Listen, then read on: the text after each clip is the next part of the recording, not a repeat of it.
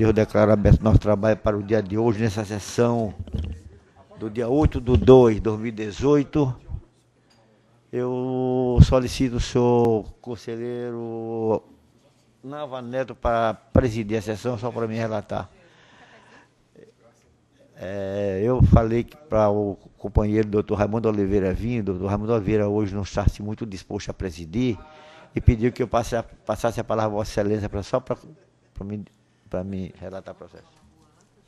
Diz que o regimento não tem proibição. Perfeitamente, senhor presidente.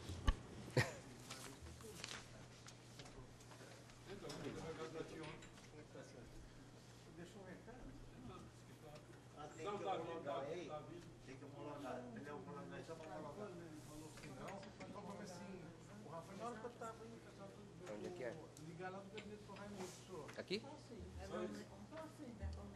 Ah, tá. Entendi. Essas duas aqui?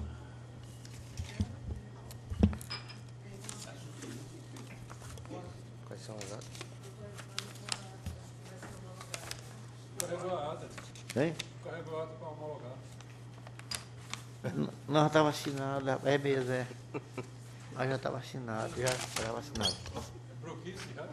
Broquice. Com certeza. É. Muito bem. Então, é, a ata. Tem duas atas aqui para homologação.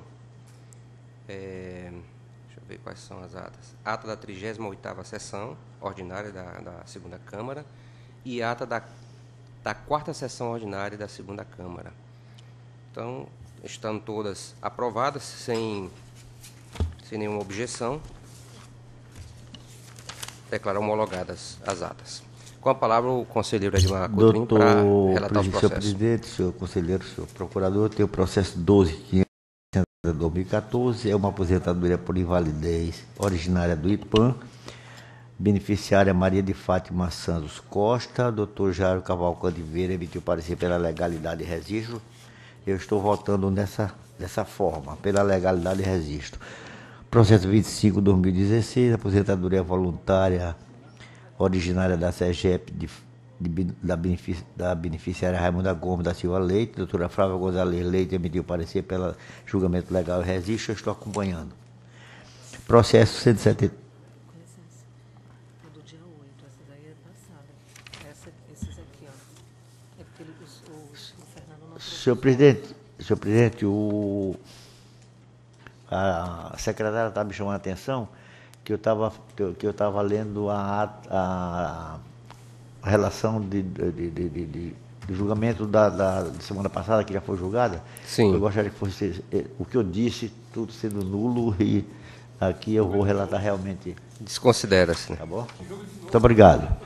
É o processo 11.558, aposentadoria de Eva da Mota Feitosa, é, da Secretaria de Estado de Gestão e Previdência do Maranhão, pela legalidade de acordo com o Ministério Público. Processo 4718-2016, é, do Instituto de Previdência e Assistência do município de São Luís, e Raimundo de, Jes- de Jesus Moraes, de acordo com o parecer do Ministério Público pela legalidade de registro, assim que eu voto.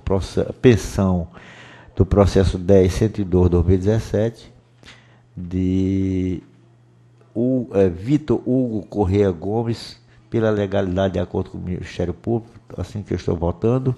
Finalmente, o processo 10.535-2017, uma pensão do Solange Maria Pereira, da, do Instituto de Previdência e Assistência do município de São Luís, eh, de acordo com o parecer ministerial, pela legalidade de registro, e é só. Só. É, como nada mais a ser tratado, declaro encerrada a presente sessão com a aprovação de todos os processos relatados pelo conselheiro Edmar Serra Coutrinho. Nada mais havendo a tratar, declaro encerrada a sessão.